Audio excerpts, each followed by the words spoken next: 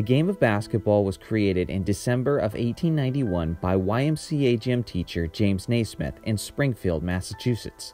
To create the game, he used a peach basket, a 10 foot pole, and a soccer ball. In 1891, the first ever basketball game was played between Naismith students. It took quite a while, but a point was eventually scored, and basketball's first ever game concluded with an epic final score of 1 to 0. James Naismith would adjust the rules of the game over the next 20 years, and the game would continue to evolve. In 1892, dribbling became a legal move. In 1893, the first ever women's collegiate basketball game was played. In 1895, the popularity of basketball spread, and basketball became an established sport that was played through numerous high schools and college universities. By 1901, basketball collegiate competition was taking place all around the United States. As the years went on, Naismith added a backboard and created a leather basketball. In 1906, an iron ring with a woven net was used and replaced peach baskets. In the 1920s, small basketball leagues were forming around the country. Among these groups that formed were the Harlem Globetrotters, whose flashy and entertaining style helped spread basketball's popularity.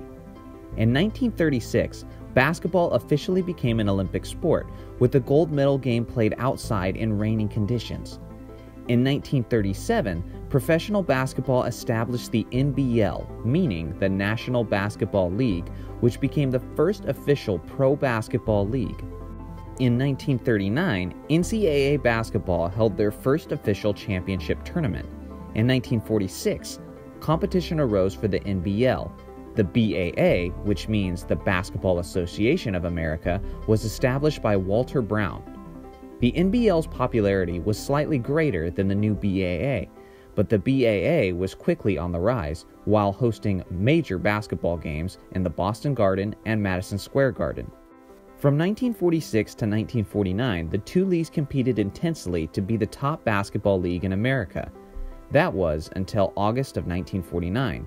Leaders of the NBL and the BAA met at the Empire State Building, and the two groups agreed to a merger of both leagues, which became the National Basketball Association, or, of course, as we know it, the NBA.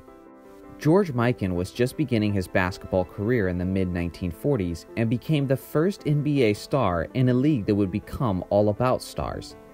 In 1954, the 24 second shot clock was introduced to the NBA to expedite the game's tempo. In 1956, Bill Russell was drafted by the Boston Celtics, which was the beginning of the NBA's greatest dynasty in history. On March 2, 1962, Wilt Chamberlain had the greatest scoring performance in NBA history, individually scoring 100 points in a single game. In 1970, Oscar Robertson, a legendary NBA player and former president of the NBA Players Association, filed an antitrust lawsuit against the NBA. The suit was settled in 1976, which resulted in the creation of NBA free agency, which allowed player mobility by choice of the players. In 1976, the NBA and the ABA, which was the American Basketball Association, merged into one league. The NBA treated it as an expansion and absorbed four teams from the ABA, increasing the league from 18 to 22 teams.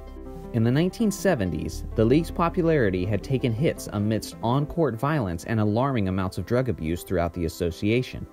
In 1978, Larry Bird was drafted by the Boston Celtics, and in 1979, Magic Johnson was drafted by the Los Angeles Lakers. This sparked the greatest rivalry in NBA history, which led the NBA to record heights of popularity and viewership. And Magic and Bird are now commonly seen as the saviors of the NBA. In 1984, Michael Jordan was drafted by the Chicago Bulls. Michael would be the one to take the torch from Bird and Magic, and Jordan would carry the league to new heights throughout the 1990s.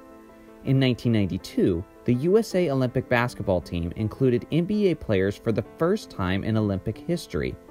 Led by Jordan, Magic, and Bird, the Dream Team dominated the Barcelona Summer Olympics and the team is commonly credited for increasing the NBA's popularity onto a global scale.